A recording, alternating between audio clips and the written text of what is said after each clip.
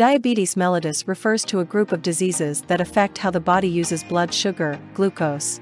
Glucose is an important source of energy for the cells that make up the muscles and tissues. It's also the brain's main source of fuel. The main cause of diabetes varies by type. But no matter what type of diabetes you have, it can lead to excess sugar in the blood. Too much sugar in the blood can lead to serious health problems. Chronic diabetes conditions include type 1 diabetes and type 2 diabetes. Potentially reversible diabetes conditions include prediabetes and gestational diabetes. Prediabetes happens when blood sugar levels are higher than normal, but the blood sugar levels aren't high enough to be called diabetes. And prediabetes can lead to diabetes unless steps are taken to prevent it. Gestational diabetes happens during pregnancy, but it may go away after the baby is born. Type 1 diabetes can start at any age, but it often starts during childhood or teen years. Type 2 diabetes, the more common type, can develop at any age. Type 2 diabetes is more common in people older than 40. When to see a doctor if you think you or your child may have diabetes. If you notice any possible diabetes symptoms, contact your healthcare provider. The earlier the condition is diagnosed, the sooner treatment can begin. Causes to understand diabetes, it's important to understand how the body normally uses glucose.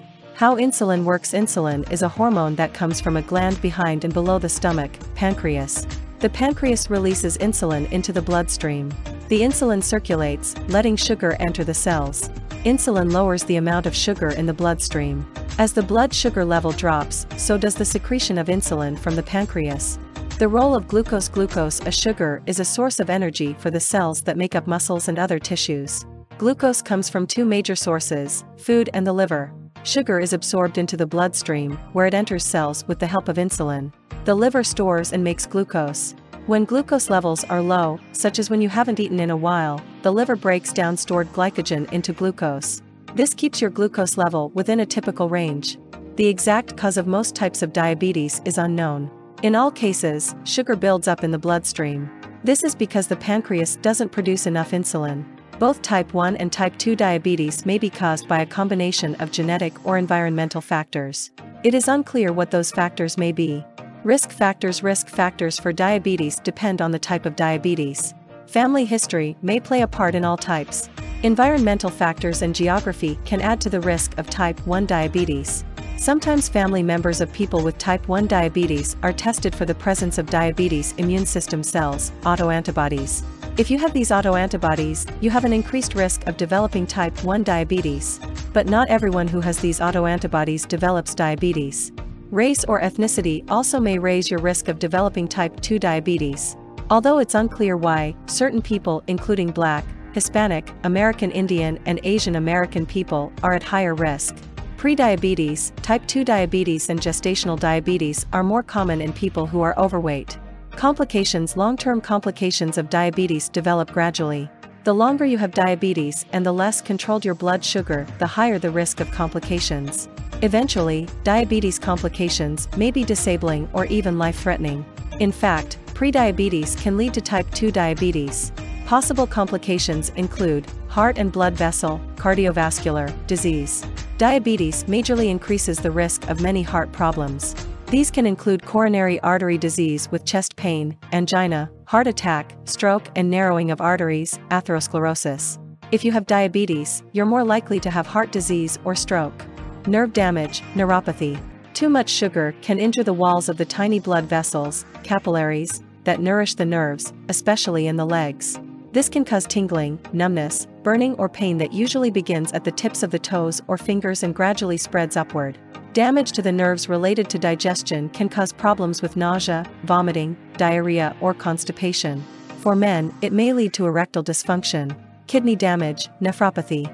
The kidneys hold millions of tiny blood vessel clusters, glomeruli, that filter waste from the blood. Diabetes can damage this delicate filtering system. Eye damage, retinopathy. Diabetes can damage the blood vessels of the eye, diabetic retinopathy. This could lead to blindness. Foot damage. Nerve damage in the feet or poor blood flow to the feet increases the risk of many foot complications. Skin and mouth conditions. Diabetes may leave you more prone to skin problems, including bacterial and fungal infections. Hearing impairment. Hearing problems are more common in people with diabetes. Alzheimer's disease. Type 2 diabetes may increase the risk of dementia, such as Alzheimer's disease. Depression. Depression symptoms are common in people with type 1 and type 2 diabetes. Complications of gestational diabetes Most women who have gestational diabetes deliver healthy babies. However, untreated or uncontrolled blood sugar levels can cause problems for you and your baby. Complications in your baby can be caused by gestational diabetes, including excess growth. Extra glucose can cross the placenta. Extra glucose triggers the baby's pancreas to make extra insulin. This can cause your baby to grow too large. It can lead to a difficult birth and sometimes the need for a C-section. Low blood sugar. Sometimes babies of mothers with gestational diabetes develop low blood sugar, hypoglycemia, shortly after birth. This is because their own insulin production is high. Type 2 diabetes later in life. Babies of mothers who have gestational diabetes have a higher risk of developing obesity and type 2 diabetes later in life. Death. Untreated gestational diabetes can lead to a baby's death either before or shortly after birth. Complications in the mother also can be caused by gestational diabetes, including preeclampsia.